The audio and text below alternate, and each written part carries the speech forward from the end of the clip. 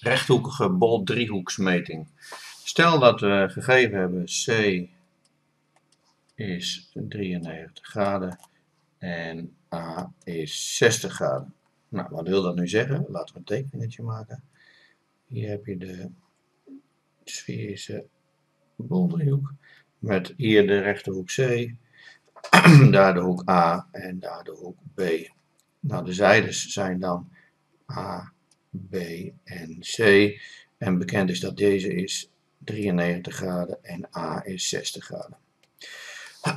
nou, in de praktijk worden de afstanden van A naar B uitgedrukt in zeemijlen, maar dan zou je die 93 kunnen vermenigvuldigen met 60. Maar dat gaan we hier niet doen. Nou, wat willen we nou weten? We willen de andere elementen weten, oftewel de zijde B en de hoeken A en B. Oké. Nou, ik maak altijd even een klein schemaatje waar ik mijn uh, informatie in kwijt kan. Dat is niet zo'n nette lijn. Nog een keer. Even kijken, een schema hier. Nou, wat staat daar nou in? Kleine a, die weten we, 60 graden. Nou, b weten we niet, die moeten we berekenen. Kleine c weten we wel, die is 93 graden. Dan gaan we naar hoek a, weten we niet. Hoek B weten we ook niet.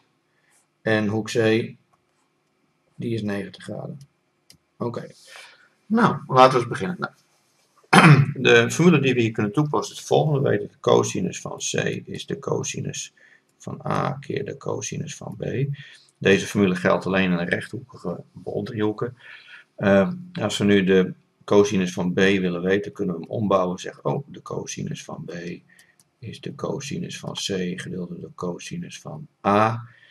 Is in ons geval de cosinus van 93 gedeeld door de cosinus van 60 wordt iets van min 0,10467. Nou, hieruit volgt dan met inverse cosinus dat b is iets van 96,008 graden.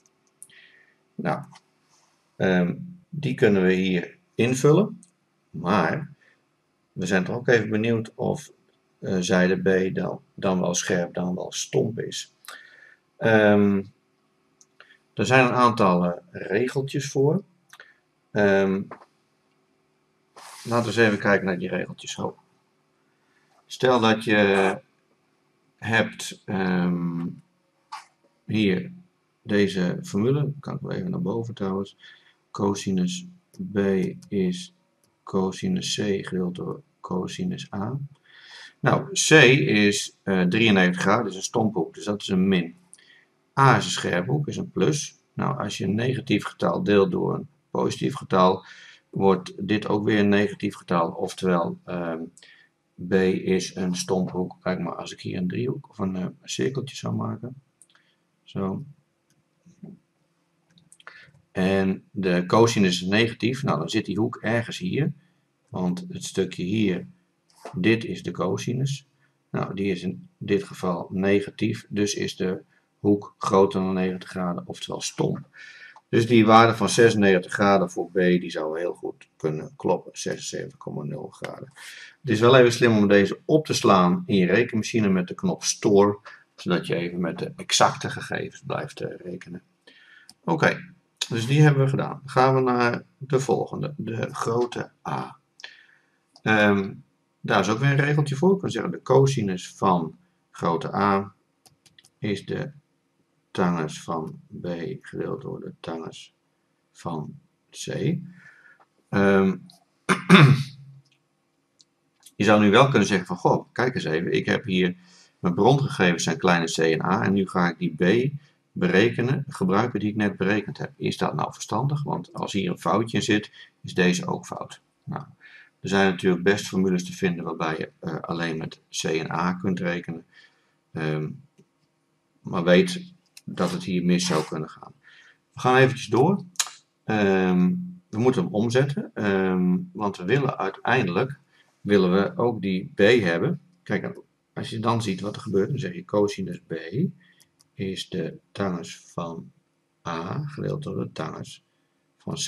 hey, dan heb ik opeens wel weer mijn brongegevens, namelijk die C en die A. Kijk, dan gaan we invullen. De tangens van A is de tangens van 60 en de tangens van C wordt dan de tangens van 93 graden. En dan krijgen we iets van min 0,09077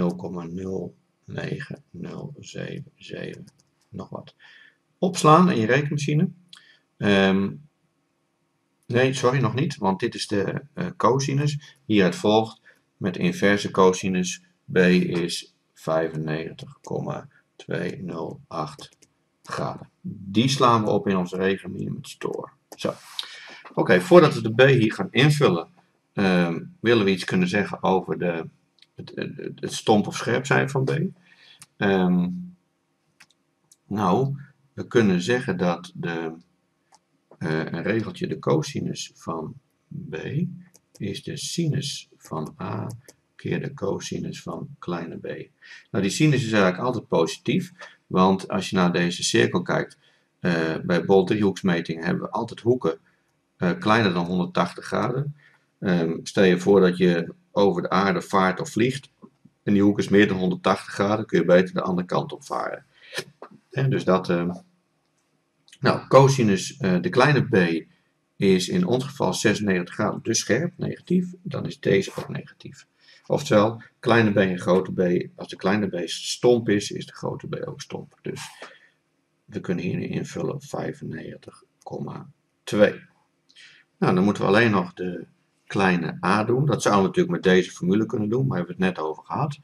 We, de waarde b hebben we natuurlijk net berekend, maar ja, weten we natuurlijk nooit 100% zeker of die goed is. Dus zoeken we een formule met uh, alleen een a en een c en die is er. De sinus van a is de sinus van de kleine a gedeeld door de sinus van c. Um, nou, dat vullen we dan in. Krijgen we de sinus van 60 gedeeld door de sinus van 93 is 0,86721 en daaruit volgt A is iets van 60,136 graden. Ook hier de vraag is A scherp of stomp? Nou, als je het regeltje hebt cosinus A is sinus B keer cosinus A. Nou, B, sinus is altijd positief.